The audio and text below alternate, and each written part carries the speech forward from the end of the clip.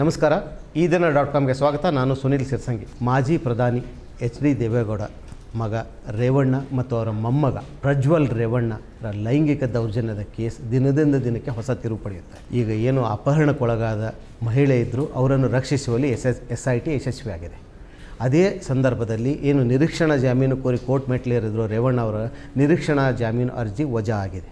ಅವರು ಅಪಹರಣ ಕೇಸ್ನಲ್ಲೂ A one ಆಗಿದ್ದರು ಹೊಳೆ ನರಸೀಪುರ ಕೇ, ರಿಜಿಸ್ಟರ್ ಆದ ಕೇಸಲ್ಲೂ ಅವರು ಎ ಒನ್ ಆಗಿದ್ದರು ಪ್ರಜ್ವಲನ್ನು ವಾಪಸ್ ದೇಶಕ್ಕೆ ಕರೆತರುವಂಥ ಯಾಕೆ ಇನ್ನೂ ಸರ್ಕಾರ ಶೀಘ್ರ ಕ್ರಮ ಕೈಗೊಳ್ಳುತ್ತಲ್ಲ? ಈ ಎಲ್ಲದರ ಬಗ್ಗೆ ಮಾತನಾಡುತ್ತೆ ನಮ್ಮೊಂದಿಗಿದ್ದಾರೆ ವಕೀಲರಾದ ರಾಜಲಕ್ಷ್ಮಿ ಅಂಕಲಿಯವರೇ ಅಂಕಲಿಯವರ ಕಾರ್ಯಕ್ರಮಕ್ಕೆ ಸ್ವಾಗತ.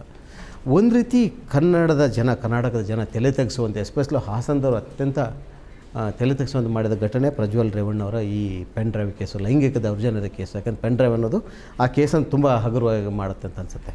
ಇದರಲ್ಲಿ ಮೊದಲ ದಿನ ಅವರು ಎಫ್ ಐ ಆರ್ ಹಾಕಿದಾಗ ಹೊಳೆ ನರಸೀಪುರದಲ್ಲಿ ಇಬ್ಬರು ಸಂತ್ರಸ್ತೆಯರು ತುಂಬ ಈಸಿಯಾದ ಸೆಕ್ಷನ್ಗಳನ್ನು ಅನ್ನೋ ಒಂದು ಆರೋಪ ಬರ್ತಾಯಿತ್ತು three hundred fifty four A ಐದುನೂರ ಐವತ್ನಾಲ್ಕು ಡಿ ಹಿಂಬಾಲಿಸುವುದು ಮತ್ತು ಇವು ಅಷ್ಟೇ ಬರ್ತಾವೆ.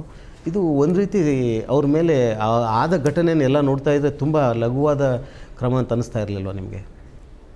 ಅದು ಅನ್ನಿಸ್ತು ಯಾಕಂತಂದರೆ ಈ ಸೆಕ್ಷನ್ದೊಳಗೆ ಹೇಳಿರುವಂಥ ಕಂಪ್ಲೇಂಟ್ ಡೀಟೇಲ್ಸನ್ನು ನೋಡಿದಾಗ ಪ್ರಜ್ವಲ್ ಅವರು ಯಾವ ರೀತಿ ಅವ್ರ ಮೇಲೆ ದೌರ್ಜನ್ಯ ಮಾಡಿದರು, ಅದೆಲ್ಲ ಕತೆ ಹೇಳಿದ ಮೇಲೇನು ಈ ಸೆಕ್ಷನ್ಗಳು ಕೆಲವೊಂದು ಮೈಲ್ಡ್ ಆದ ಕಡಿಮೆ ತೀವ್ರತೆ ಇರುವಂಥ ಸೆಕ್ಷನ್ಗಳನ್ನು ಹಾಕೋದು ಆ ನಂತರ ಪಬ್ಲಿಕ್ನಿಂದ ಒತ್ತಡ ಬಂದ ಮೇಲೆ ಮತ್ತೆ ಹೊಸ ಸೆಕ್ಷನ್ಗಳನ್ನು ಸೇರಿಸೋದು ಮತ್ತು ಮುಂದುವರಿದ ತನಿಖೆ ಅಂತೇಳಿ ಹೊಸದಾಗಿ ಮತ್ತೇನಾದರೂ ಸೇರಿಸೋದು ಇದು ಯೂಶ್ವಲಿ ಕಾಮನ್ ಆಗ್ತದೆ. ಅದು ಯಾವಾಗ ಕಾಮನ್ ಆಗ್ತದೆ ಅಂತಂದರೆ ಕೆಲವೊಂದು ಪ್ರಭಾವಿ ವ್ಯಕ್ತಿಗಳ ಮೇಲೆ ಕೇಸ್ ಆದಾಗ ಇಂಥದ್ದೆಲ್ಲ ಕಂಡು ಬರ್ತದೆ. ಆದರೆ ಇಲ್ಲಿ ಎರಡು ಸೆಕ್ಷನ್ ಅಷ್ಟೇ ಹಾಕಿದ್ದು ನೋಡಿದಾಗ, ಆ ಒಂದು ಘಟನೆಗಳ ತೀವ್ರತೆ ಇಡೀ ರಾಜ್ಯದ ತುಂಬ ಹರಿದಾಡಿದ ಮೇಲೆ, ಎಲ್ಲರಿಗೂ ಗೊತ್ತಾದ ಮೇಲೆ, ಅಷ್ಟೆಲ್ಲ ಆದಮೇಲೂ ಇದು ಮಾಡಿದ್ದು, ಆ, ಪ್ರಭಾವ ಪೊಲೀಸ್ ಇಲಾಖೆಯ ಮೇಲೇನೂ ಹರಿದಿರೋದು ಕ್ಲಿಯರಾಗಿ ಕಾಣಿಸ್ತದೆ ಅಲ್ಲಿ. ಇದರ ನಡುವೆ ಕೆ ಆರ್ ನಗರದಲ್ಲಿ ಒಬ್ಬ ಸಂತ್ರಸ್ತ ಮಹಿಳೆಯನ್ನು, ಅದು ತುಂಬ ವಯಸ್ಸಾದ ಮಹಿಳೆಯನ್ನು, ಅವಳು ಸಂತ್ರಸ್ತರಾಗಿದ್ದರು, ಅದರ ಬಗ್ಗೆ ಇಡೀ ರಾಜ್ಯದ ಜನ ತುಂಬ ಕೋ ಇದ್ದರೆ ಆ ಮಹಿಳೆ ಅಪಹರಣ ಆಗಿದೆ ಅಂತೇಳಿ ಅವ್ರ ಮಗ ಕಂಪ್ಲೇಂಟ್ ಕೊಟ್ಟಿದ್ದರು ಆ ಮಹಿಳೆಯನ್ನು ರಕ್ಷಿಸುವಲ್ಲಿ ಎಸ್ ಎಸ್ ಐ ಟಿ ಯಶಸ್ವಿಯಾಗಿದೆ. ರೇವಣ್ಣವರ ಸಹಾಯಕ ಅವರ ತೋಟದ ಮನೆಯಲ್ಲಿ ಅವರನ್ನು ರಕ್ಷಿಸಲಾಗಿದೆ ಅಂತ ಹೇಳಿದೆ. ಆ ಎಫ್ ಐ ಆರ್ನಲ್ಲೂ ಅವರೇ ಎ ಒನ್ ಆಗಿದ್ದರು ಅವರ ಜೊತೆಗೆ ಇನ್ನೊಬ್ಬರು ಅವರ ಸಹಾಯಕರಿದ್ದರು ಸಹಾಯಕರನ್ನ ಅರೆಸ್ಟ್ ಮಾಡಿದರೆ ಸರ್ಕಾರ ನಿರೀಕ್ಷಣಾ ಜಾಮೀನು ಅರ್ಜಿಯನ್ನು ಸಲ್ಲಿಸಿದ್ರು. ಅದು ವಜಾ ಆಗಿದೆ. ಇಷ್ಟೆಲ್ಲ ಆದರೂ ರಾಜ್ಯ ಸರ್ಕಾರ ಅಥವಾ ರಾಜ್ಯದ ಪೊಲೀಸ್ ಇಲಾಖೆ ಯಾಕೆ ತ್ವರಿತ ಕ್ರಮ ಕೈಗೊಳ್ತಾ ಇಲ್ಲ? ತೀವ್ರತೆ ಅರ್ಥ ಆಗಿದೆ. ಆದರೆ ಏನಂತಂದರೆ ಒಂದು ಪೆನ್ ಡ್ರೈವ್ ಬಂದ ಮೇಲೆ ಕೆಲವೊಂದು ವಲಯದೊಳಗೆ ಕಣ್ ಕೇಳಿ ಬಂದಂಥ ಡಿಸ್ಕಷನ್ಸ್ ಹೆಂಗಿರ್ತದೆ ಅಂತಂದರೆ, ಅಲ್ಲಿ ಸಂತ್ರಸ್ತೆ ಅಂತ ಹೆಂಗೆ ಕರೆಯೋದು? ಈ ಪೊಲೀಸರಾಗಲಿ, ನಮ್ಮ ಸಮಾಜದ ವ್ಯವಸ್ಥೆ ಆಗಲಿ, ಕೆಲವು ಪ್ರಧಾ, ಪ್ರಭಾವಿ ವ್ಯಕ್ತಿಗಳು ಬಂದಾಗ ಯಾವ ರೀತಿ ವರ್ತಿಸ್ತಾರೆ ಅದು ಅಲ್ಲಿ ಕಾಣಿಸ್ತದೆ. ಅಲ್ಲಿ ಹೆಂಗೆ ಹೇಳ್ತಾರೆ ಅಂತಂದರೆ, ಅಲ್ಲಿ ಯಾರೋ ತಮ್ಮ ಕೆಲಸಕ್ಕಾಗಿ ಹೋದಂಥ ಹೆಣ್ಮಕ್ಳಿದ್ದಾರೆ ಅವರನ್ನು ಸಂತ್ರಸ್ತೆ ಅಂತ ಹೆಂಗೆ ಕರೆಯೋದು? ಅಲ್ಲಿ ಅವರವರ ವೈಯಕ್ತಿಕ ಆಗಿದ್ದು ಅಂತ ಹೇಳಿದರು. ಆದರೆ ಈ ಘಟನೆ ಆದಮೇಲೆ ಯಾರು ಮುಂದೆ ಬಂದು ಕಂಪ್ಲೇಂಟ್ ಕೊಟ್ಟರು ಆ ಕಂಪ್ಲೇಂಟನ್ನು ಸೀರಿಯಸ್ ಆಗಿ ರಿಜಿಸ್ಟರ್ ಮಾಡಲಾರ್ದೇ ಇರೋದೇನದಲ್ಲ ಅದು ಅನ್ಯಾಯ. ಅದು ಯಾರು ಅಷ್ಟೆಂದರು ಲೈಫ್ ರಿಸ್ಕ್ ತೊಗೊಂಡು. ಲೈಫ್ ರಿಸ್ಕ್ ಅಂತ ಯಾಕೆ ಹೇಳ್ತೀವಿ ಅಂತಂದರೆ, ಇಲ್ಲಿ ಇದು ಎಷ್ಟು ವರ್ಷದಿಂದ ನಡೆದದೋ ಘಟನೆಗಳು, ಇದು ಒಂದು ಚೇನ್ ಆಫ್ ಇವೆಂಟ್ಸೋ ಒಂದೇ ಸಲ ಆಗ್ಯದೋ, ಅದು ಯಾವುದೂ ಇನ್ನೂ ತನಿಖೆ ಆಗಿಲ್ಲ.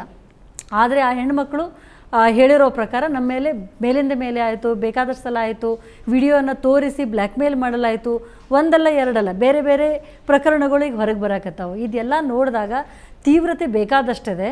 ಆದರೆ ಆ ತೀವ್ರತೆಯನ್ನು ನೋಡಿ ಅದನ್ನು ನಿಷ್ಪಕ್ಷಪಾತವಾಗಿ ತನಿಖೆ ಮಾಡುವಂಥ ಮನಸ್ಥಿತಿ ಪೊಲೀಸ್ ಇಲಾಖೆಯೊಳಗೆ ಕಂಡು ಬರ್ತಾ ಇಲ್ಲ.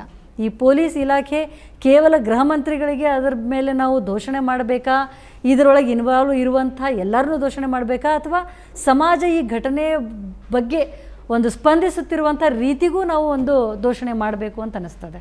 ಇಲ್ಲಿ ಇಲ್ಲಿ ಇನ್ನೊಂದು ಮುಖ್ಯವಾಗಿರುತ್ತೆ. ಯಾಕಂದರೆ ಮೂರನೇ ಕೇಸ್ ಏನು ರಿಜಿಸ್ಟರ್ ಆಗಿದೆ, ಅದು ಸಂತ್ರಸ್ತನೇ.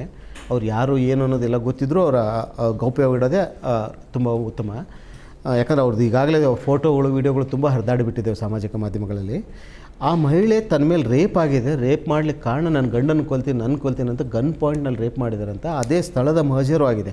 ಇಷ್ಟೆಲ್ಲ ಆದ ನಂತರವೂ ನೀವು ತನಿಖೆಗೆ ತೀವ್ರತೆ ಕೈಕೊಳ್ಳದೆ ಹೋದರೆ ಸಹಜವಾದ ಪ್ರಶ್ನೆಗಳು ಉದ್ಭವಿಸೋದಲ್ವಾ? ಇದು ಕೇವಲ ರಾಜಕೀಯಕ್ಕೆ ಬಳಕೆ ಆಗ್ತಾ ಇದೆ ಪೆನ್ ಡ್ರೈವ್ ಅನ್ನೋದು. ಇಲ್ಲಿ ಸಂತ್ರಸ್ತರ ಪರವಾಗಿ ಕೂಗು ಯಾರಿಗೂ ಕೇಳಿಸ್ತಾ ಇಲ್ಲ. ಅವರು ಮಾನ ದಿನ ಸಾಮಾಜಿಕ ಮಾಧ್ಯಮಗಳಲ್ಲಿ ಹರಾಜಾಗ್ತಾ ಇದೆ ಅನ್ನೋದು.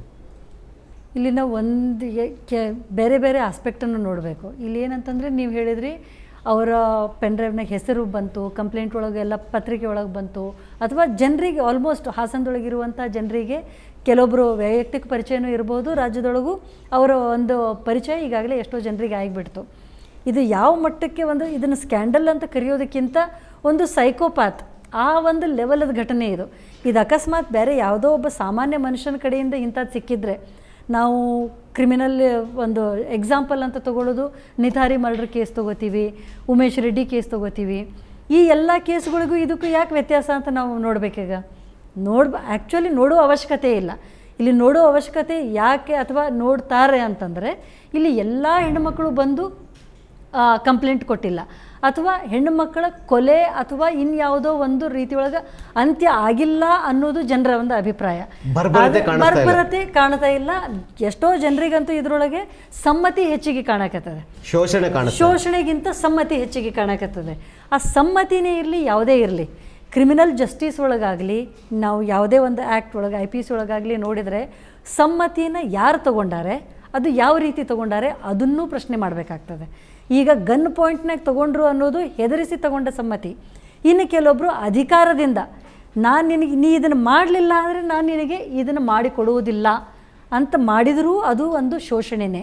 ಅದು ಒಂದು ಬ ಒಂದು ಅಲ್ಲ ಅಕಸ್ಮಾತ್ ಪತಿ ತನ್ನ ಕಾಂಟ್ರಾಕ್ಟ್ಗಾಗಿ ಪತ್ನಿಯನ್ನು ಕಳಿಸಿದರೆ ಅಥವಾ ಗಂಡನ ಟ್ರಾನ್ಸ್ಫರ್ಗಾಗಿ ಪತ್ನಿಯನ್ನು ಕಳಿಸಿದ್ರೆ ಅದು ಶೋಷಣೆ ಅದು ಗಂಡ ಮಾಡಿದ ಶೋಷಣೆ ಮೊದಲು. ಅದರ ನಂತರ ಯಾವ ವ್ಯಕ್ತಿ ಆ ಮಹಿಳೆಯನ್ನು ಶೋಷಿಸಿದ ಅವನು ಅದರೊಳಗೆ ಶೋಷಕ.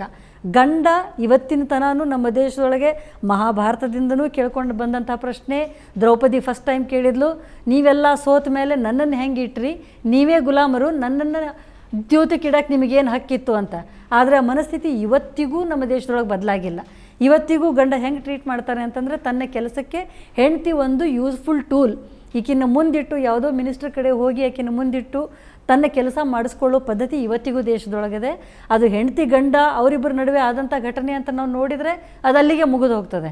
ಅದು ಹೆಂಡತಿನೂ ಇದು ಒಂದು ನಾರ್ಮಲ್ ಪ್ರಕ್ರಿಯೆ ಅಂತ ಅಂದ್ಕೊಂಡ್ಬಿಟ್ರೆ ಆಕೆ ಯಾವ ಒಂದು ವಾತಾವರಣದಾಗ ಬೆಳೆದಾಳ ಆಕೆಗೆ ಏನನ್ನ ಕಲಿಸ್ಕೊಟ್ಟಾರ ತಂದೆ ತಾಯಿ ಗಂಡ ಹೇಳಿದ್ದನ್ನೇ ಕೇಳು ಇದನ್ನೇ ಮಾತಾಡು ಅದನ್ನೇ ಒಪ್ಪಿಕೊಂಡು ಹೋಗು. ಆ ಶೋಷಣೆ ಇನ್ನೊಂದು ಮುಖನೂ ನಾವು ನೋಡಬೇಕು. ಒಂದು ಇಪ್ಪತ್ತು ವರ್ಷನೋ ಹದಿನೈದು ವರ್ಷನೋ ಸಂಸಾರ ಮಾಡಿದ ಮೇಲೆ ಆಕೆ ಗಂಡನ್ನು ಬಿಟ್ಟು ಹೋಗಬೇಕು ಅಂತಂದರೆ ಆಕೆಗೆ ಅಕಸ್ಮಾತ್ ಎಜುಕೇಷನ್ ಇಲ್ಲ ಅಥವಾ ಒಂದು ಇಂಡಿಪೆಂಡೆಂಟ್ ಇನ್ಕಮ್ ಇಲ್ಲ ಅಂತಂದರೆ ಆಕೆ ಎಲ್ಲಿಗೆ ಹೋಗಬೇಕು? ಈ ಕಡೆ ಇವರು ಮೇಂಟೆನೆನ್ಸು ಕೊಡೋದಿಲ್ಲ. ಈ ಕಡೆ ತವ್ರ ಮನೆಯೊಳಗೆ ತಂದೆ ತಾಯಿಗೂ ವಯಸ್ಸಾಗಿರ್ತದೆ, ಅವ್ರು ಆಕೆಗೆ ನೋಡ್ಕೊಳಕ್ಕಾಗೋದಿಲ್ಲ. ಅಣ್ಣ ತಮ್ಮಂದರು ತಮ್ಮ ಲೈಫ್ ಒಳಗೆ ಬ್ಯುಸಿ ಆಗಿರ್ತಾರೆ, ಅವ್ರು ಆಕಿಗೆ ನೋಡ್ಕೊಳ್ಳೋದಿಲ್ಲ ಆಕೆಗೆ ಯಾವುದೇ ನೆಲೆ ಇಲ್ಲ. ಇಲ್ಲಿ ಆಕೆ ಒಪ್ಪಿ ಹೋದ್ಲು ಅನ್ನೋ ಒಂದೇ ಕಾರಣಕ್ಕೆ ಆಕಿನ ನಾವು ಈಕೆ ವಿಕ್ಟಿಮ್ ಅಲ್ಲ ಈಕೆ ಸಂತ್ರಸ್ತೆ ಅಲ್ಲ ಅಂತ ಕರೆಯೋಕ್ಕಾಗೋದಿಲ್ಲ. ಆಕೆ ಒಂದು ಹೆಲ್ಪ್ಲೆಸ್ ಸ್ಥಿತಿ ಒಳಗದಾಳ ಆಕಿನ ಹೆಲ್ಪ್ಲೆಸ್ ಸ್ಥಿತಿಯನ್ನು ಒಬ್ಬ ಪ್ರಭಾವಿ ವ್ಯಕ್ತಿ ಬಳಸ್ಕೊಳ್ಳಕತ್ತನ. ಇದನ್ನು ನಾವು ಕ್ಲಿಯರ್ ಆಗಿ ನೋಡಬೇಕು ಇದು ವೈಲೇಷನ್ ವೈಲೇಷನು ಬಟ್ ಇದ್ರ ಜೊತೆ ಘಟನೆ ದಿನದಿಂದ ದಿನಕ್ಕೆ ಹೊಸ ತಿರುವು ಪಡೆದುಕೊಳ್ತಾ ಇದೆ ಹೊಸ ತೀವ್ರತೆ ಪಡೆದುಕೊಳ್ತಾ ಇದೆ. ಇಲ್ಲಿ ತುಂಬ ಜನ ನಾವು ಅವರು ಸಂತ್ರಸ್ತರಾದರೂ ಅದ್ರ ಜೊತೆ ಕೆಲವೊಂದರ ಮೇಲೆ ವಿಡಿಯೋದಲ್ಲೇ ಸ್ಪಷ್ಟವಾಗಿ ಗೊತ್ತಾಗ ಸಾಮಾಜಿಕ ಜಾಲತಾಣ ಹರಿದಾಡ್ತಿರೋ ಚಿತ್ರಗಳು ಗೊತ್ತಾಗ್ತಾರೆ ವೃದ್ಧ ಮಹಿಳೆಯ ಮೇಲೆ ಅವ್ರು ಬೇಡ ಅಂತ ಬೇಡ್ಕೊಂಡ್ರು ಸಹಿತ ಮಾಡ್ತಾರೆ. ಅದು ಅತ್ಯಾಚಾರನ ಸ್ಪಷ್ಟವಾಗಿ ಗೊತ್ತಾಗ್ತಾ ಇದೆ. ಅದ್ರ ಜೊತೆಗೆ ಒಬ್ಬ ಮಹಿಳೆ ತನ್ನ ಮೇಲೆ ಅತ್ಯಾಚಾರ ಆಗಿದೆ ಅಂತ ಕಂಪ್ಲೇಂಟ್ ಮಾಡಿದ್ದಾರೆ. ಇಷ್ಟೆಲ್ಲ ಆದಮೇಲೂ ಇವ್ರ ಮೇಲೆ ಗುರುತ್ ಇದು ಬೇಗ ತ್ವರಿತಗತಿಯಲ್ಲಿ ನ್ಯಾಯ ಕೊಡಿಸ್ಬೇಕಾದ ಜವಾಬ್ದಾರಿ ಸರ್ಕಾರದ ಮೇಲೆ ಇದೆ. ಬಟ್ ಇದ್ರ ಜೊತೆಗೆ ಅಷ್ಟೇ ಜವಾಬ್ದಾರಿ ಕೇಂದ್ರ ಸರ್ಕಾರದ ಮೇಲೂ ಇದೆ. ಯಾಕಂದರೆ ಒಬ್ಬ ಪಾರ್ಲಿಮೆಂಟ್ ಸದಸ್ಯನಾದ ವ್ಯಕ್ತಿ ಅವರ ಸಭಾಧ್ಯಕ್ಷರಿಗೆ ತಿಳಿಸಿ ವಿದೇಶಕ್ಕೆ ಹೋಗಬೇಕಾಗತ್ತೆ. ಅದು ಹೇಗೆ ಪ್ರಯ ಪ- ಪಲಾಯನ ಮಾಡಿದರು? ಯಾಕೆ ಮರುತರುವಲ್ಲಿ ಕೇಂದ್ರ ಸರ್ಕಾರ ಮುತುವರ್ಜಿ ವಹಿಸ್ತಾ ಇಲ್ಲ? ಯಾವಾಗಲೂ ಸಂತ್ರಸ್ತೆಯರ ವಿರುದ್ಧವಾಗಿ ಅಥವಾ ಯಾರು ಮಹಿಳಾ ದೌರ್ಜನ್ಯ ಮಾಡ್ತಾರೆ, ಅವ್ರ ಪರವಾಗೇ ಮೋದಿ ಮತ್ತು ಅವ್ರ ತಂಡ ಇರುತ್ತೆ ಅನ್ನೋದು ಮತ್ತೆ ಮತ್ತೆ ಸಾಬೀತಾಗ್ತಾಯಿದೆ ಇದನ್ನು ನಾವು ಬ್ರಿಜ್ಭೂಷಣ್ ಕೇಸಲ್ಲೂ ನೋಡ್ಬೋದು, ಮಣಿಪುರ್ ಕೇಸಲ್ಲೂ ನೋಡ್ಬೋದು, ಅಥವಾ ಅವ್ರದೇ ವಾರಣಾಸಿಯಲ್ಲಿ ವಿಶ್ವವಿದ್ಯಾಲಯದಲ್ಲಿ ನಡೆದ ವಿದ್ಯಾರ್ಥಿನ ಗನ್ ಪಾಯಿಂಟಲ್ಲಿ ಸಾಮೂಹಿಕವಾಗಿ ರೇಪ್ ಮಾಡಿದ ಕೇಸಲ್ಲಿ ನೋಡ್ಬೋದು. ಇದು ಕೇಂದ್ರ ಸರ್ಕಾರದ ಮೇಲೂ ಅಷ್ಟೇ ಜವಾಬ್ದಾರಿ ಇದೆ ಅಂತ ಅನಿಸ್ತಾ ಇಲ್ವಾ ನಿಮಗೆ? ಇದು ಹಂಡ್ರೆಡ್ ಪರ್ಸೆಂಟ್ ಇದೆ. ಯಾಕಂತಂದರೆ ಈ ಬಾರಿಯ ಚುನಾವಣೆಯೊಳಗೆ ಕೇಂದ್ರ ಸರ್ಕಾರ, ಅಂದರೆ B J P J D S ಜೋಡಿ ಅಲಯನ್ಸ್ ಮಾಡ್ಕೊಂಡದ್ದು ಈ ಒಂದು ಶ್ರೀರಕ್ಷೆ ಸಿಗೋಕ್ಕೆ ಕಾರಣ ಅಂತ ಎಲ್ಲರೂ ಮಾತಾಡ್ಕೊಳ್ಳಕತ್ತಾರೆ ಇದು ಯಾರು ಪೆನ್ ಡ್ರೈವನ್ನ ಅಥವಾ ಇದ್ರ ಸುದ್ದಿನ ಬಯಲು ಮಾಡಿದ್ರು, ಆ ವ್ಯಕ್ತಿ ಹೇಳೋ ಪ್ರಕಾರ ನಾ ಡಿಸೆಂಬರ್ದಾಗೆ ಪಕ್ಷದ ಮುಖಂಡರಿಗೆ ರಾಜ್ಯದೊಳಗೆ ಹೇಳಿದ್ದೆ ಅಂತ ಅವ್ರು ಹೇಳ್ತಾರೆ. ಅದು ಹೇಳಿದ್ರೂ ಸಹಿತ ಇವರಿಗೆ ಟಿಕೆಟ್ ಕೊಟ್ಟರು ಹೆಂಗೆ? ಇದನ್ನು ಇಂಥ ಒಬ್ಬ ವ್ಯಕ್ತಿಗೆ ಪ್ರಧಾನಮಂತ್ರಿ ತನ್ನ ಸ್ಟೇಜ್ ಮೇಲೆ ಕರ್ಕೊಂಡು ಬಂದು ಪ್ರಚಾರ ಹೆಂಗೆ ಮಾಡಿದರು? ಇದು ನೀವು ಹೇಳಿದ್ರಿ, ಅವರು ಬಲಾತ್ಕಾರಿಗಳ ಪರವಾಗಿ ನಿಲ್ತದೆ ಅಂತ. ಪರವಾಗಿ ನಿಲ್ತದೆ ಅಲ್ಲದೆ ಅವ್ರನ್ನ ರಕ್ಷಿಸ್ತದೆ. ನೀವು ಏನು ಮಾಡ್ತೀರಿ ಮಾಡ್ಕೊಳ್ರಿ ಅನ್ನುವಂಥ ಸಂದೇಶನ ಅವರು ಇವೆಲ್ಲ ಎಕ್ಸಾಂಪಲ್ ಬಿಡೋಣ.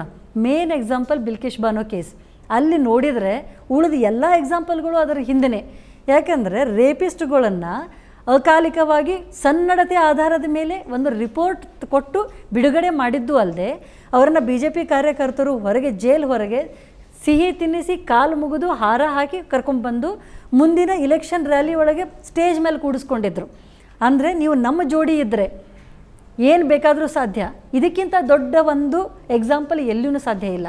ನೆಕ್ಸ್ಟ್ ಬರೋದು ಕಠುವಾದೊಳಗೆ ಎಂಟು ವರ್ಷದ ಮಗು ಮೇಲೆ ವಾರಗಟ್ಟಲೆ ಗುಡಿಯೊಳಗೆ ರೇಪ್ ಆದರೆ ಆ ಹುಡುಗಿ ಪರವಾಗಿ ಯಾರೂ ಕೇಸ್ ತಗೋಬಾರ್ದು ಅಂತ B J P M L ಎಗಳು ಆಮೇಲೆ ಎಂ ಪಿ ಮಿನಿಸ್ಟರ್ ಇದ್ದವರು ದೆಹಲಿ ಒಳಗೆ ಅವರು ರ್ಯಾಲಿ ಮಾಡಿದರು. ಇಲ್ಲಿ ಎಲ್ಲ ಪ್ರತಿಯೊಂದು ಹಂತದೊಳಗೂ ನೀವು ಮಣಿಪುರ ಹೇಳ್ರಿ ಉಳಿದದ್ದು ಹೇಳ್ರಿ. ಇದು ಎಲ್ಲಾನು ಎಲ್ಲ ಕಡೆನೂ ಬಲಾತ್ಕಾರಿಗಳ ಪರವಾಗಿ. ಬ್ರಿಜ್ ಭೂಷಣ್ಗೆ ನಮ್ಮ ದೇಶಕ್ಕೆ ಒಲಿಂಪಿಕ್ಸ್ ತಂದವರು ರಸ್ತೆ ಒಳಗೆ ತಿಂಗಳುಗಟ್ಟಲೆ ಕೂತು ಪ್ರತಿ ಪ್ರತಿಭಟನೆ ಮಾಡಿದರೆ ಒಂದು ಆ್ಯಕ್ಷನ್ ತಗೊಳ್ಳಿಲ್ಲ. ಇಲೆಕ್ಷನ್ ಟೈಮ್ನಾಗ ನಾವೇನೋ ಆ್ಯಕ್ಷನ್ ತೊಗೊಂಡೀವಿ ಅವನಿಗೆ ಟಿಕೆಟ್ ಕೊಡೋದಿಲ್ಲ ಅಂಥೇಳಿ ಈಗ ಅವನಿಗೆ ಮಗನಿಗೆ ಕೊಟ್ಟು. ಯಾವಾಗಲೂ ನೆಪೋಟಿಸಮು ನಾವು ಸ್ವಜನ ಪಕ್ಷಪಾತ ಮಾಡೋದಿಲ್ಲ ಆ ಪಕ್ಷದವ್ರು ಹಂಗಲ್ಲ ಅಂತ ಹೇಳ್ಕೋತೆ. ಯಾವ ಕಾರಣಕ್ಕೆ ಕೊಟ್ರಿ? ಒಬ್ಬ ಬಲಾತ್ಕಾರಿ ಅಂಥೇಳಿ ನಾವು ಟಿಕೆಟ್ ಕೊಟ್ಟಿಲ್ಲ ಅಂತ ಈ ಕಡೆ ಬಾಯಿಯಿಂದ ಹೇಳಿ ಅವನ ಮಗನಿಗೆ ಕೊಟ್ಟರೆ ಅವನ ಮನೆಗೆ ಕೊಟ್ಟಂಗೆ. ಅಂದ್ರೆ ಒಂದು ಹಂತದಲ್ಲಿ ನಾವು ರಕ್ಷಣೆ ಮಾಡ್ತೀವಿ ದೌರ್ಜನ್ಯ ಮಾಡಿದವ್ರ. ರಕ್ಷಣೆನೂ ಮಾಡ್ತೀವಿ ಪರಿವಾರವಾದ ಏನಂತ ಹೇಳ್ತೇವೆ ಅವರನ್ನ ಮುಂದುವರಿಸ್ತೀವಿ. ಎದುರಾಳಿಗಳನ್ನ ಮಾತ್ರ ಹಣೆಯಲು ಪ್ರಯತ್ನ ಮಾಡ್ತೀವಿ ಅಂತ. ಅದ್ರ ಜೊತೆಗೆ ನಮಗೆ ಇಲ್ಲಿ ಮುಖ್ಯವಾಗಿ ಅನಿಸ್ತಾ ಇರೋದು ಪ್ರಜ್ವಲ್ ರೇವಣ್ಣ ಕೇಸಲ್ಲಿ ಇಷ್ಟೆಲ್ಲ ಕೇಸ್ ಹಾಕಿ ಎಸ್ ಐ ಟಿ ಮಾಡಿ ಮಾಡಿದರು. ಇಲ್ಲಿವರೆಗೂ ಮೌನ ಮುರಿದೇ ಇರುವ ಅವ್ರ ಕುಟುಂಬದ ಬಗ್ಗೆ ಏನು ಅನಿಸುತ್ತೆ? ದೇವೇಗೌಡರು ಮಾತಾಡಬೇಕಾಗಿತ್ತು. ಇದಕ್ಕೆ ಸ್ಪಷ್ಟನೆ ಕೊಡಬೇಕಾಗಿತ್ತು ಅಥವಾ ಕಾ, ನೆಲದ ಕಾನೂನಿನ ಅಡಿಯಲ್ಲಿ ಅವನಿಗೆ ಕ್ರಮ ಕೈಗೊಳ್ಳಿ ಅಂತ ಹೇಳಬೇಕಾಯ್ತು. ಯಾಕಂದ್ರೆ ಪ್ರಧಾನಮಂತ್ರಿಗಳಿಗೂ ಒಂದು ಜವಾಬ್ದಾರಿ ಇರುತ್ತೆ. ಮಾಜಿ ಪ್ರಧಾನಮಂತ್ರಿಗಳು, ಮಾಜಿ ಮುಖ್ಯಮಂತ್ರಿಗಳು. ಈ ಅವರು ಎಲ್ಲ ಬಿಟ್ಟು ಕುಮಾರಸ್ವಾಮಿ ಅವರು ಕೇವಲ ಸಿ ಡಿ ಇದು ಪೆನ್ ಡ್ರೈವನ್ನು ಬಿಡುಗಡೆ ಮಾಡೋ ಮೂಲಕ ನಮ್ಮ ಕುಟುಂಬದ ಹರಾಜಾಗ್ತಾರೆ ಅಂತ ಹೇಳ್ತಾರೆ. ಆ ಮಹಿಳೆಯರ ಮಾನ ಹರಾಜಾಗೋದ್ರ ಬಗ್ಗೆ ಕುಮಾರಸ್ವಾಮಿ ಅವರು ಕಿಂಚಿತ್ತೂ ಲಕ್ಷ್ಯ ಇಲ್ಲ ಅನ್ಸುತ್ತೆ. ಅದ್ರ ಜೊತೆಗೆ ಅವನು ಅವರ ಅಣ್ಣನ ಮಗ ಮಾಡಿದ ತಪ್ಪಿನ ಬಗ್ಗೆ ಅವರಿಗೆ ಒಂದು ಪಶ್ಚಾತ್ತಾಪ ಇಲ್ಲ. ಕೇವಲ ತಮ್ಮ ಮ ಕುಟುಂಬದ ಮಾ ಮಾನ ಹರಾಜಾತ ಅನ್ನೋದೇ ತುಂಬ ಇಂಪಾರ್ಟೆಂಟ್ ಅಥವಾ ಯಾರು ಲೀಕ್ ಮಾಡೋದು ಅನ್ನೋದು ಇಂಪಾರ್ಟೆಂಟಾ ಈ ಎಲ್ಲ ಘಟನೆಗಳ ಹಿಂದೆ ಇರುವ ನೋವು ಅವ್ರಿಗೆ ಅರ್ಥ ಆಗ್ತಾ ಇಲ್ಲ ಅನ್ಸುತ್ತಾ? ಇಲ್ಲ, ಈ ಇನ್ಸೆನ್ಸಿಟಿವಿಟಿ ಅನ್ನೋದು ಒಂದು ಸ್ಟೇಜ್ ದಾಟಿ ಮುಂದೆ ಹೋಗಿದೆ ಅನ್ನೋದು ಇಲ್ಲಿ ಕ್ಲಿಯರ್ ಆಗೇ ಕಾಣಿಸ್ತದೆ. ಈ ಬರೇ ಒಬ್ಬ ಹೆಣ್ಮಗಳು ಮುಖ ತೋರಿಸಿದ್ದು ಅಂತಲ್ಲ, ಈಗ ನಾವು ಕ್ರಿಮಿನಲ್ ಅಮೆಂಡ್ಮೆಂಟ್ ಆ್ಯಕ್ಟ್ ಬಂದ ಮೇಲೆ, ನಿರ್ಭಯ ಕೇಸಿನ ನಂತರ ಜೆ ಎಸ್ ವರ್ಮಾ ಕಮಿಟಿ ಬಂದ ಮೇಲೆ ವಯರಿಸಮ್ ಅಂದರೆ ಕೇವಲ ಒಂದು ಪೋರ್ನೋಗ್ರಫಿನ ನೋಡುವುದು ಸಹಿತ ಅಪರಾಧ, ಆಮೇಲೆ ಸ್ಟಾಕಿಂಗ್ ಒಂದು ಹುಡುಗಿಯನ್ನು ಫಾಲೋ ಮಾಡೋದು, ಆಕೆ ಎಲ್ಲಿ ಹೋಗ್ತಾಳೆ, ಅಲ್ಲಿ ಬೆನ್ನು ಹತ್ತೋದು, ಅದೂ ಕೂಡ ಅಪರಾಧ. ಈವ್ ಟೀಸಿಂಗಿನ ಹೆಸರು ತೆಗೆದು ಅಷ್ಟು ಒಂದು ಸಿಂಪ್ಲಿಫೈ ಮಾಡೋದು ಬೇಡ, ಅಪರಾಧಕ್ಕೆ ತೀವ್ರತೆ ಕೊಡೋಣ ಅಂಥೇಳಿ ಆಮೇಲೆ ತ್ರೀ ಫಿಫ್ಟಿ ಫೋರ್ ಕೆಳಗೆ ಈ ಎಲ್ಲನೂ ಮಿನಿಮಮ್ ಮೂರು ವರ್ಷ, ಐದು ವರ್ಷ ಈ ಥರ ಶಿಕ್ಷೆಗಳನ್ನು ಹೆಚ್ಚು ಮಾಡಿದರು. ಈಗ ರೇಪಿಗಂತೂ ಹತ್ತು ವರ್ಷ ಮಿನಿಮಮ್ಮು ಆಮೇಲೆ ಲೈಫ್ ಇಂಪ್ರಿಸನ್ಮೆಂಟು, ಅದರೊಳಗೆ ಇನ್ನೂ ಹೀನಾಯವಾಗಿತ್ತು ಅಂತಂದರೆ, ಅಥವಾ ಗ್ಯಾಂಗ್ ರೇಪ್ ಇತ್ತು ಅಂತಂದರೆ ಮರಣದಂಡನೆ ಇಪ್ಪತ್ತು ವರ್ಷ, ಅಷ್ಟೆಲ್ಲ ಶಿಕ್ಷೆಯ ಪ್ರಮಾಣ ಇನ್ಕ್ರೀಸ್ ಮಾಡಿದರು. ಇಲ್ಲಿ ನಮ್ಮ ದೇಶದೊಳಗೆ ಪ್ರಮಾಣ ಇನ್ಕ್ರೀಸ್ ಮಾಡೋದು ಇಂಪಾರ್ಟೆಂಟ್ ಅಲ್ಲ. ಯಾವುದೇ ಒಂದು ಶಿಕ್ಷೆ ಇರಲಿ, ಅದನ್ನು ಪರಿಣಾಮಕಾರಿಯಾಗಿ ಇಂಪ್ಲಿಮೆಂಟ್ ಮಾಡೋದು ಇಂಪಾರ್ಟೆಂಟ್ ಪ್ರತಿ ಸಲ ಒಂದು ಏನೋ ಘಟನೆ ಆದ್ಕೊಳ್ಳಿ, ಈಗ ರೀಸೆಂಟಾಗಿ ನೇಹಾ ಘಟನೆ ಆದಾಗೂ ಹಿಡೀರಿ ಗಲ್ಲಿಗೇರಿಸ್ರಿ ಹಿಡೀರಿ ಗಲ್ಲಿಗೇರಿಸ್ರಿ ಅಂತಂದು ರೋಡಿಗೆ ಬಂದುಬಿಡ್ತಾರೆ. ಗಲ್ಲಿಗೆ ಯಾರು ಪತ್ರಕರ್ತರು ಏರಿಸೋದಿಲ್ಲ, ಪೊಲೀಸರು ಏರಿಸೋದಿಲ್ಲ. ಅದಕ್ಕೆ ಕೋರ್ಟ್ ಏರಿಸಬೇಕು, ಅದಕ್ಕೊಂದು ಪ್ರಕ್ರಿಯೆ ಆಗಬೇಕು. ಆ ಪ್ರಕ್ರಿಯೆ ಒಳಗೆ ಲೂಪ್ ಹೋಲ್ ಇದ್ದರೆ ಸರಿಯಾಗಿ ಪೊಲೀಸರು ಇಲ್ಲಿ ತನಿಖೆ ಮಾಡಲಿಲ್ಲ ಅಂದರೆ, ಸರಿಯಾದ ಸಾಕ್ಷ್ಯಾಧಾರಗಳ ಕಲೆಕ್ಟ್ ಮಾಡಲಿಲ್ಲ ಅಂದರೆ ಸ್ಟೇಟ್ಮೆಂಟ್ ತಗೊಳ್ಳಿಲ್ಲ. ಯಾರು ವಿಕ್ಟಿಮ್ಸ್ ಅದಾರೆ, ಯಾರು ಸಾಕ್ಷಿಗಳದಾರೆ, ಅವರ ಸ್ಟೇಟ್ಮೆಂಟ್ ಕರೆಕ್ಟಾಗಿ ತಗೊಳ್ಳಿಲ್ಲ. ಪೊಲೀಸರು ಪೊಲೀಸ್ ಸ್ಟೇಷನ್ದೊಳಗೆ ತಗೊಳ್ಳುವಂಥ ಸ್ಟೇಟ್ಮೆಂಟಿಗೆ ಬೆಲೆ ಇಲ್ಲ. ಅದು ಯಾವುದೇ ಸ್ಟೇಟ್ಮೆಂಟು ನಾಳೆ ಬಂದು ಅವರು ಹೋಸ್ಟೈಲ್ ಆಗಿ ಬದಲು ಮಾಡಿದರೆ ಕೇಸ್ ಬಿದ್ದು ಹೋಗ್ತದೆ. ಇಂಥ ಒಂದು ಸೀರಿಯಸ್ ಕೇಸ್ ಇದ್ದಾಗ ಮ್ಯಾಜಿಸ್ಟ್ರೇಟ್ ಎದುರಿಗೆ ಸ್ಟೇಟ್ಮೆಂಟನ್ನು ದಾಖಲಿಸಬೇಕು. ಸೆಕ್ಷನ್ ಒನ್ ಸಿಕ್ಸ್ಟಿ ಫೋರ್ ಕೆಳಗೆ. ಆವಾಗ ಆ ವ್ಯಕ್ತಿ ಬದಲಾವಣೆ ಮಾಡೋಕ್ಕೆ ಸ್ಟೇಟ್ಮೆಂಟ್ನಿಂದ ಹಿಂದೆ ಸರ್ಕೊಳ್ಳೋಕೆ ಅವಕಾಶ ಇರೋದಿಲ್ಲ ಈ ಒಂದು ಸಣ್ಣ ಥಿಂಗ್ ಪೊಲೀಸರಿಗೆ ಯಾಕೆ ಗೊತ್ತಾಗೋದಿಲ್ಲ? ಗೊತ್ತಾಗಬೇಕಾಗಿತ್ತು, ಅವ್ರು ಮಾಡಿಸ್ಬೇಕಾಗಿತ್ತು. ಯಾಕೆ ಮಾಡೋದಿಲ್ಲ? ಅದು ಕೆಲವು ವ್ಯಕ್ತಿಗಳ ಕಡೆಗೆ ಯಾಕೆ ಮಾಡೋದಿಲ್ಲ? ಈ ಎಲ್ಲ ಪ್ರಶ್ನೆಗಳು ಉಳಿತಾವೆ. ಇದೆಲ್ಲದರ ಜೋಡಿ ಕ್ರಿಮಿನಲ್ ಆ್ಯಕ್ಟ್ ಒಳಗೆ ಸಂತ್ರಸ್ತೆ ಹೆಸರು ತಗೋಬಾರ್ದು, ಮುಖ ತೋರಿಸ್ಬಾರ್ದು, ಎಲ್ಲ ಇದೆ. ಇಲ್ಲಿ ಪೆನ್ಡ್ರೈವ್ಗಳನ್ನು ಯಾವ ರೀತಿ ಹಂಚಿಬಿಟ್ರು ಅಂತಂದರೆ ಪ್ರತಿ ಮನೆ ಮನೆ ಒಳಗೂ ಇವತ್ತು ಯಾರ ವ್ಯಕ್ತಿ ಅದರೊಳಗೆ ಯಾರು, ಯಾವ ಹೆಣ್ಣುಮಗಳು ಇನ್ವಾಲ್ವ್ ಇದ್ದಾಳೆ ಅನ್ನೋದು ಗೊತ್ತಾಯಿತು. ಆ ಹೆಣ್ಣು ಮಗಳು ಯಾವ ಕಾರಣಕ್ಕಾಗಿ ಇನ್ವಾಲ್ವ್ ಅದಾಳ ಅನ್ನೋದು ಯಾರೂ ಪ್ರಶ್ನೆ ಮಾಡೋದಿಲ್ಲ. ಆದರೆ ಆಕಿನ ವೈಯಕ್ತಿಕ ಘನತೆ ರೈಟ್ ಟು ಪ್ರೈವಸಿ ಎಲ್ಲ ಅಲ್ಲಿ ಇನ್ಫ್ರಿಂಜ್ ಆಯಿತು. ಇದನ್ನು ಕೇಳೋರು ಯಾರೂ ಇಲ್ಲ. ಆಕಿನೇ ಹೋಗಿ ಯಾರಿಗೋ ಹೇಳಿದರೂ ಸಹಿತ ಆಕೆಯ ಸ್ಟೇಟ್ಮೆಂಟನ್ನು ಸೀರಿಯಸ್ ಆಗಿ ತಗೊಳ್ಳಾರ್ದ ಸ್ಥಿತಿಯೊಳಗೆ ಇವತ್ತು ಸಮಾಜ ಅಥವಾ ಒಂದು ವ್ಯಕ್ತಿ ಮಾಡಿಟ್ಬಿಟ್ರು. ಇದ್ರ ಹಿಂದೆ ಇಷ್ಟೆಲ್ಲ ಘಟನೆ ಆದಾಗ ಅವನ್ನ ಪಕ್ಷದಿಂದ ತೆಗಿತೀವಿ. ಅದೇನು ಕಾನೂನು ಪ್ರಕಾರ ಆಗುತ್ತೋ ಆಗಲಿ ಅಂತ ಒಂದು ಸಣ್ಣ ಮಾತು ಹೇಳಿಬಿಡೋದು ಒಬ್ಬ ಜವಾಬ್ದಾರಿಯುತ, ಒಬ್ಬ ಮಾಜಿ ಮುಖ್ಯಮಂತ್ರಿ, ಅವರ ತಂದೆ ಪ, ಮಾಜಿ ಪ್ರಧಾನಮಂತ್ರಿ. ಇಂಥ ಒಂದು ಲೆಗಸಿ ಇರುವಂತಹ ಒಂದು ಪಕ್ಷ, ಇವರು ಕೊಡುವಂಥ ಒಂದು ಒಂದು ಎಕ್ಸ್ಪ್ಲನೇಷನ್ ಯಾರಿಗೂ ಸಮಾಧಾನಕರವಾದ, ಆದದ್ದಲ್ಲ. ಈಗ ಇನ್ನೂ ಒಂದು ಆ್ಯಂಗಲ್ದಿಂದ ಇದನ್ನು ನೋಡಬೇಕು. ಕೆಲವೊಂದು ಕಡೆ ವಲಯದೊಳಗೆ ನಮಗೆ ಕೇಳಿ ಬಂದಂಥ ಮಾತು. ಹಾಸನದೊಳಗೆ ಕೆಲಸ ಮಾಡಿ ಬಂದಾರಾ? ಹಂಗಂದ್ರೆ ಇವ್ರದ್ದು ಏನಾದರೂ ಇರಬಹುದು ಅನ್ನುವಂಥ ಉಡಾಫೆ ಮಾತುಗಳು ಇವತ್ತು ಸರ್ಕಾರಿ ಆಫೀಸ್ಗಳೊಳಗೆ ನಡೆದವು. ಅಂದರೆ ಅಲ್ಲಿ ಕೆಲಸ ಮಾಡಿ ಬಂದಂಥ ಹೆಣ್ಮಕ್ಳ ಘನತೆ ಏನೀಗ ಇದು ಮೂರು ಸಾವಿರ ವಿಡಿಯೋಗಳು ಅಂತಂದರೆ ಮೂರು ಸಾವಿರ ಹೆಣ್ಮಕ್ಳದಾರ ಅಂತ ಏನು ಅರ್ಥ ಅಲ್ಲ. ಒಬ್ಬೊಬ್ರದ್ದು ಹತ್ತಿರ್ಬೋದು ಇಪ್ಪತ್ತಿರ್ಬೋದು ಆದರೆ ನೂರಾರು ಹೆಣ್ಮಕ್ಳು ಇರೋದಂತೂ ನಿಜ. ಆದರೆ ಇನ್ನೂ ವಿಡಿಯೋ ಇಲ್ಲದೇ ಇರುವಂಥ ಹೆಣ್ಮಕ್ಳು ಇರಬೇಕು ಅನ್ನೋದು ನಿಜ. ಇದೆಲ್ಲ ಬಯಲಿಗೆ ಬರಬೇಕು. ಇದೆಲ್ಲ ಬರಬೇಕು ಅಂತಂದರೆ ಈ ಒಂದು ಇವ್ರ ಪಕ್ಷ ಚಾರ್ಸೋ ಪಾರ್ ಅದರ ಸಲುವಾಗಿ ನಾವು ಏನಾದರೂ ಮಾಡ್ತೀವಿ ಎಂಥವ್ರನ್ನ ಇದ್ರೂ ನಾವು ಗೆಲ್ಲಿಸ್ತೀವಿ, ಈ ವಿಡಿಯೋ ರಿಲೀಸ್ ಮಾಡೋದೇ ಇತ್ತು ಅಂತಂದರೆ ನಾಲ್ಕು ದಿನ ಮೊದಲು ಯಾಕೆ ಮಾಡಲಿಲ್ಲ? ಒಂದು ವಾರ ಮೊದಲು ಯಾಕೆ ಮಾಡಲಿಲ್ಲ? ಇಲೆಕ್ಷನ್ ವೋಟಿಂಗ್ ಆದ ನಂತರ ಯಾಕೆ ಇದು ಬಯಲಿಗೆ ಬಂತು? ಎರಡು ದಿನ ಮೊದಲೇ ವಿಡಿಯೋ ಬಂದಿದ್ರೂ ಸಹಿತ ಯಾವುದೇ ಮೀಡಿಯಾದಾಗ ಅದನ್ನು ಯಾಕೆ ತೋರಿಸಲಿಲ್ಲ? ಪ್ರಶ್ನೆಗಳು ಬೇಕಾದಷ್ಟು ಅದಾವೆ. ಇದೆಲ್ಲ ಮೊದಲೇ ಬಂದಿದ್ದರೆ ವೋಟಿಂಗ್ ಮೇಲೆ ಇಫೆಕ್ಟ್ ಆಗ್ತಿತ್ತು. ಅಕಸ್ಮಾತ್ ಇವತ್ತು ಇಲೆಕ್ಷನ್ದೊಳಗೆ ಪ್ರಜ್ವಲ್ ರೇವಣ್ಣ ಗೆದ್ದು ಬಂದರೆ ಈ ವ್ಯಕ್ತಿನ ಜನಪ್ರತಿನಿಧಿ ಅಂತ ನಾವು ಒಪ್ಕೋಬೇಕಾ? ನಮ್ಮ ರಾಜ್ಯದಿಂದ ಒಬ್ಬ ರೇಪಿಸ್ಟನ್ನು ನಾವು ದೇಶಕ್ಕೆ ಕಳಿಸೀವಿ ಅನ್ನುವ ಒಂದು ಕಳಂಕ ನಮಗೆ ಬೇಕಾ? ಇಂಥ ಒಂದು ಪರಿಸ್ಥಿತಿ ನಮಗೆ ಬೇಕಾಗಿಲ್ಲ. ಆದರೆ ಅವನು ಗೆದ್ದು ಬಂದ ಮೇಲೆ ಕೇಸ್ ನಡೆದು ಅವ್ರದ್ದೇನಾದರೂ ಈ ಸದಸ್ಯತ್ವ ಅಥವಾ ಪ್ರಾತಿನಿಧಿತ್ವ ರದ್ದಾದರೆ ಅದಕ್ಕೊಂದು ಬೆಲೆ ಇರ್ತದೆ. ಅದು ರದ್ದಾಗಬೇಕು ಅಂದರೆ ಪೊಲೀಸ್ ಇನ್ವೆಸ್ಟಿಗೇಷನ್ ಇವತ್ತು ಸರಿಯಾಗಿ ಆಗಬೇಕು. ಅದಾಗಲಿಲ್ಲ ಅಂತಂದರೆ ಇದು ಒಂದು ತಾರ್ಕಿಕ ಅಂತ್ಯ ಕಾಣೋದೇ ಇಲ್ಲ.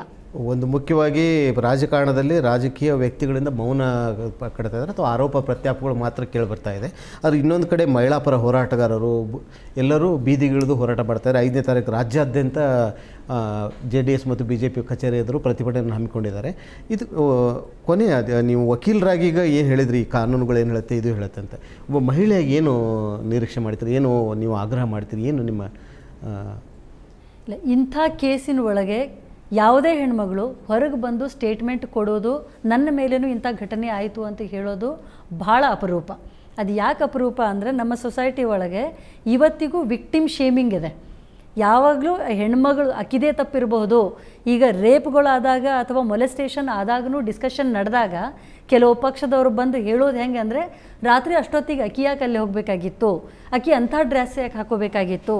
ಅಂಥವ್ರ ಜೋಡಿ ಯಾಕೆ ಹೋಗಬೇಕಾಗಿತ್ತು? ಇದು ಎಲ್ಲನೂ ಹೆಂಗಿದೆ ಅಂತಂದರೆ ವಿಕ್ಟಿಮ್ ಶೇಮಿಂಗಿಗೆ ಬಂದು ನಿಲ್ತದೆ ಇದನ್ನು ತಪ್ಪಿಸ್ಬೇಕು ಅಂತಂದರೆ ಆ ವಿಕ್ಟಿಮ್ಗೆ ಒಂದು ಕವರೇಜ್ ಕೊಡಬೇಕು.